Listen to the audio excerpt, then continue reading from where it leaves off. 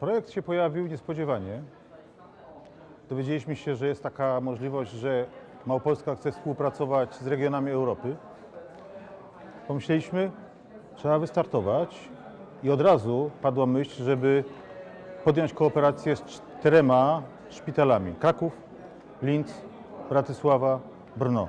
Po pierwsze blisko, Dwa, jednak y, są to szpitale w Br- Bratysławie kliniczny, a w Lincu szpital, który ma naczyniówkę bardzo wysoko postawioną, a specyfiką krakowskiego szpitala jest naczyniówka. Tu działa Regionalne Centrum Chorób Naczyń, o którym dzisiaj docent Kuczmik, szef Polskiego Towarzystwa Chirurgii Naczyniowej, powiedział, że to jest taki wzorcowy, kompleksowy ośrodek leczenia chorób naczyń. Więc pomyśleliśmy, trzeba skorzystać z doświadczeń Lincu, gdzie jest z kolei centrum naczyń dla Górnej Austrii. Czy warto takie projekty realizować? Na początku było wiele wątpliwości i ze strony naszej, i ze strony naszych partnerów. Jak dzisiaj słyszeliśmy, wszyscy powiedzieli warto. Po pierwsze, kontakty międzyludzkie.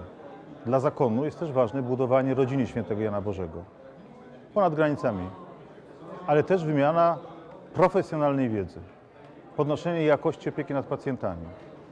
Konferencje w zeszłym roku i w tym roku to przyjazd do Krakowa najlepszych specjalistów, którzy pokazują najnowsze osiągnięcia w terapii schorzeń naczyń obwodowych.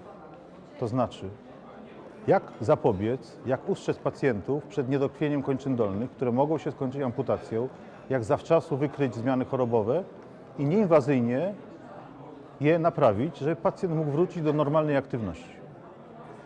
To czerpanie z wiedzy tych, którzy są już jakieś pół czy dwa kroki przed nami z racji na to, że nie mieli przerwy, funkcjonują tak jak w Polsce myśmy mieli przerwę, ale też satysfakcja z tego, że u nas już nadgoniliśmy.